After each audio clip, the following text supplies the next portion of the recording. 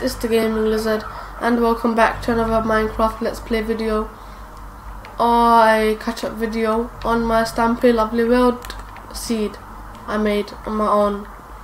As you can see I have been busy, I've built this whole entire thing. You can see Stampy's shelter, it's a new addition to it and I don't know, yeah like that. And I made the mob grinder thing like this all the mobs and that drop down. Like through here.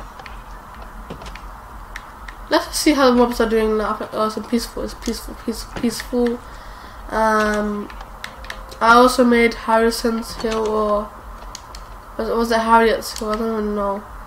Um is is she in there? Nope um I also made the hat shop which then maybe I know then probably died I don't I do not know where they went to. And what else have I made um, I've made the theatre guys. I don't know if that's the old feature. I made the landscape as you can see looks really nice.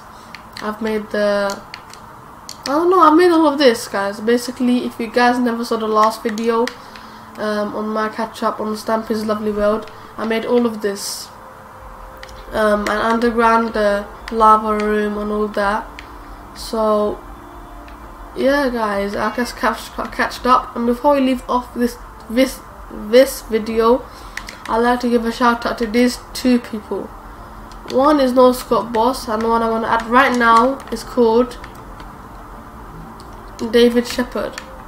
Um, some of you may know him some some of you may not know him. Um, as I said both his name on it David Shepherd he basically makes videos on how to make um, Stampy's seed. That's how you write his username. And yeah um these two people go for go subscribe to them. Go like go be active on their channels. And of course my channel too. Okay but anyway um yeah I'd like to give a shout out to some more people, but I don't know their names, so big flop. Um, but anyway, shout out to all my subscribers. We hit 300 subscribers, guys. Can we hit 400 by the end of this month? Because I'll be really happy. Anyway, guys, I will see you all in the next video. Peace out.